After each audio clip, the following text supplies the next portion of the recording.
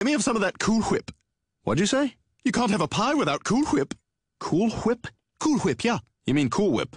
Yeah, Cool Whip. Cool Whip. Cool Whip. Cool Whip. Cool Whip. You're saying it weird. Why are you putting so much emphasis on the H? What are you talking about? I'm just saying it. Cool Whip. You put Cool Whip on pie. Pie tastes better with Cool Whip. Say whip. Whip. Now say Cool Whip. Cool Whip.